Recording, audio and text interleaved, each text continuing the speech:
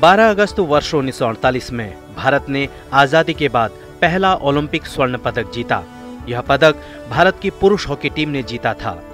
इससे पहले भारत ने वर्ष 1928, 1932, 1936 में लगातार तीन ओलंपिक स्वर्ण पदक जीते थे। ये तीनों ही पदक भारत ने अंग्रेज़ी हुकूमत के शासनकाल में जीते थे। 12 साल तक ओलंपिक खेलों का आयोजन द्वितीय विश्व युद्ध की वजह से नहीं हो पाया। 12 साल बाद जब उन्नीस सौ अड़तालीस में स्वतंत्र भारत की टीम पहली बार ओलंपिक खेलों में उतर रही थी तो भारत के लिए चुनौती था चौथा ओलंपिक स्वर्ण पदक जीतना। भारत ने इस चुनौती को पूरा किया और लगातार चौथी बार सोने का तमगा जीता।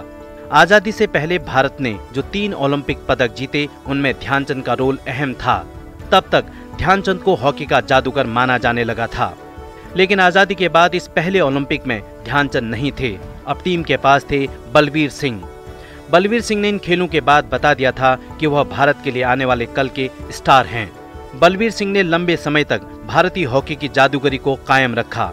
फाइनल में भारतीय टीम के सामने ग्रेट ब्रिटेन की टीम थी। भारत के लिए यह मैच बेहद खास था, क्योंकि इस मुकाबले के ठीक तीन दिन बाद पूरा देश आज़ादी की पहली वर्षगांठ मनाने जा रहा था। भारत ने फाइनल में ग्रेट ब्रिटेन को चार शून्य से मात देकर लगातार चौथा स्वर्ण पदक जीत लिया। फाइनल मुकाबले में बलवीर सिंह ने दो, त्रिलोचन सिंह और पैट्रिक जेनसन ने एक एक गोल किए। ब्रिटेन को उसी की धरती पर हराकर पूरा देश अंग्रेज़ों के खिलाफ मिली इस जीत के बाद खुशी से झूम उठा। 12 अगस्त वर्ष 1919 में विक्रम अम्बालाल साराभाई का जन्म अहमदाबाद में हुआ। वे भारतीय अंतरिक्ष अनुसंधान संगठन इसरो के पहले अध्यक्ष थे। विक्रम साराभाई को भारतीय अंतरिक्ष कार्यक्रम के जनक के रूप में माना जाता है। वे विक्रम साराभाई ही थे। जिन्होंने अंतरिक्ष अनुसंधान के क्षेत्र में भारत को अंतर्राष्ट्रीय स्तर पर स्थान दिलाया। डॉक्टर होमी जहांगीर भाभा की मृत्यु के बाद सारा भाई ने परमाणु ऊर्जा आयोग के अध्यक्ष का कार्यभार संभाला। वर्ष उन्नीस सौ छियासठ में उन्होंने कम्युनिटी साइंस सेंटर की स्थापना की।